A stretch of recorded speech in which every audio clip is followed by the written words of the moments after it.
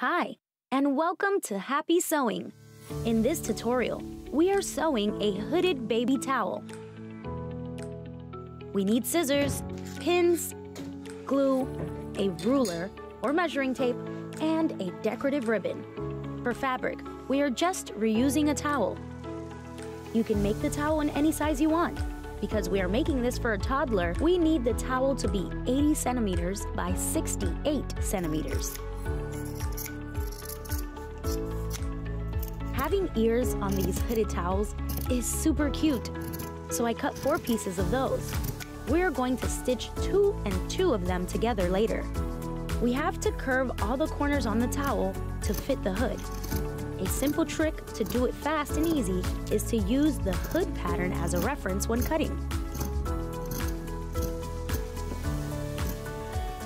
After two minutes of cutting, it looks like this.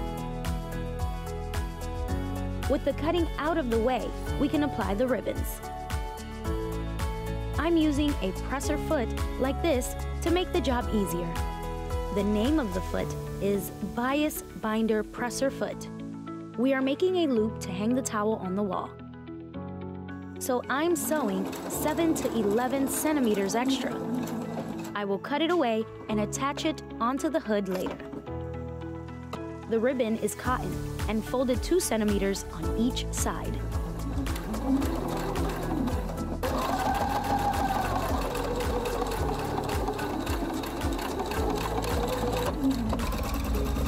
I sew a three-step zigzag seam around the ears to keep the fabric from ripping. I lay each pair of ears the wrong way out and secure them with pins.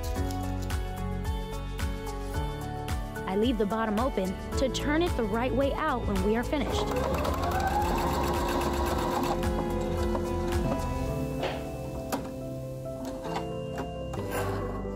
The ears are finished.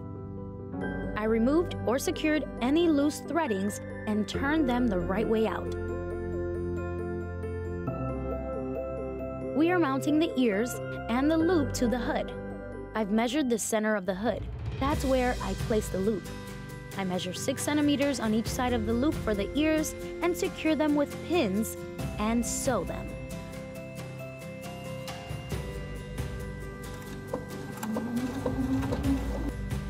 If your towel is stitch as mine, I recommend you start sewing with the presser foot on top of the ears and reverse to the beginning of the ears and start sewing.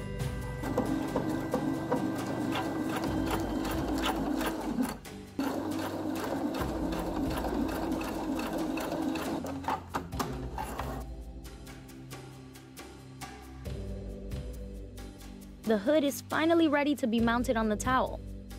We will hide the seam as well, so we place the towel and the hood with the right side facing each other. When I'm sewing, I keep a close eye on the ears and the loop and that the hood and the towel are perfectly aligned.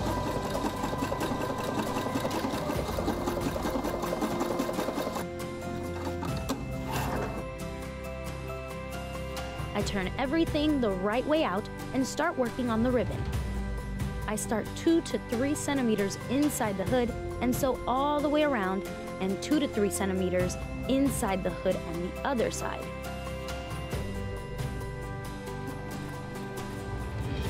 We don't want the top of the hood to be bulky, so we leave the top without ribbon.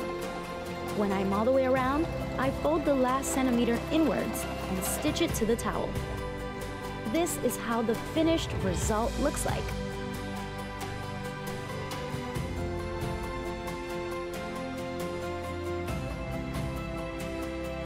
Thank you so much for watching. See you soon, and happy sewing!